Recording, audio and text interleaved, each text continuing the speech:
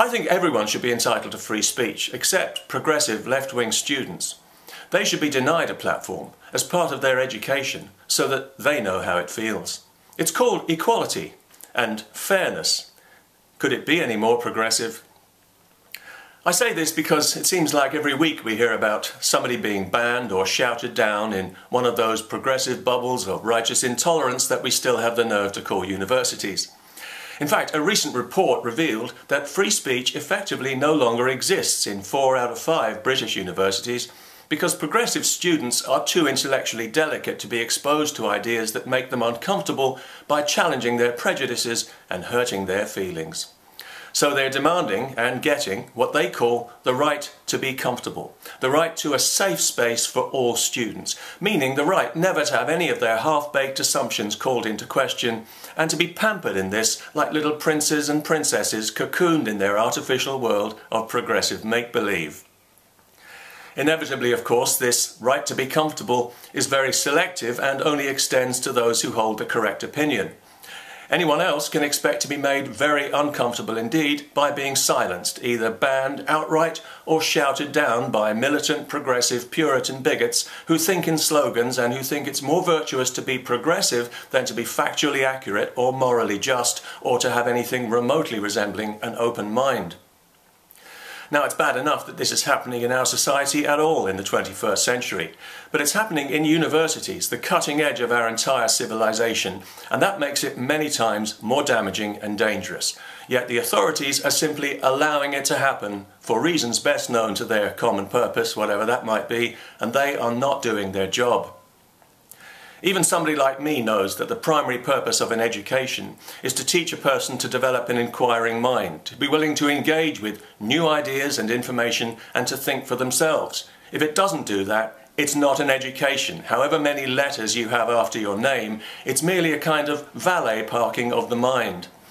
And that appears to be what's on offer today in lieu of an education, not just in Britain, but all over the Western world. Because today, a university is the one place outside religion where you're guaranteed to find people with rigid, unexamined ideas deaf to argument and blind to evidence, and who appear to have been hypnotized into seriously believing that other people's rights and liberties are subordinate to their feelings.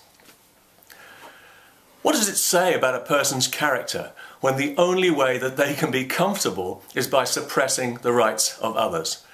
Not that it matters what it says, because they're not listening anyway. They haven't been taught how to listen or how to think.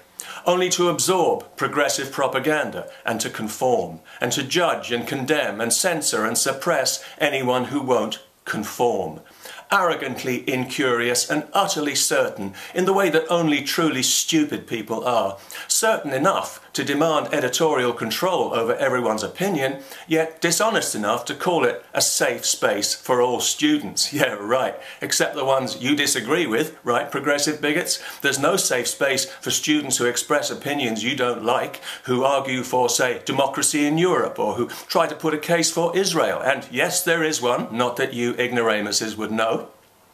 And there's no safe space for students who want to hear other arguments, other points of view. You know, proper students who are there for the right reason, to engage with ideas, to broaden their range of influences, to evaluate arguments and to think for themselves. There is no safe space for those people, and you, intolerant, militant, Puritan bigots, are the reason why. Are you afraid to hear the arguments in case you're convinced and have to change your mind? It's not as painful as it sounds, I can assure you. But if you're not even open to the possibility, and if you shout people down, then clearly you are not. Then you are being miseducated. You've been shafted and brainwashed and cheated as surely as any religious zealot. You're even too arrogant and stupid to see that every time you shut somebody up, you indict yourselves personally. You show your smallness and your fear, and you generate contempt for yourself as an individual that you will wear as a public stain on your character for the rest of your life. Because when you finally grow up, 10 or 20 or 30 years from now and decide that you want to live down this despicable behaviour, you won't be allowed to. The crime is too great, the betrayal is too fundamental. We can all see now exactly who you are and how low you are prepared to sink. And we can see that from your sheltered and privileged position of closed minded ignorance, you're perfectly willing to squander everyone's birthright, the importance of which you clearly don't understand because you've been taught not to understand. You're attempting to undermine the foundation of our society, the very principle that gives us all the freedom to be who we are, and that gives you the freedom to abuse the freedom to be the intolerant, intellectual, and moral vermin that you are.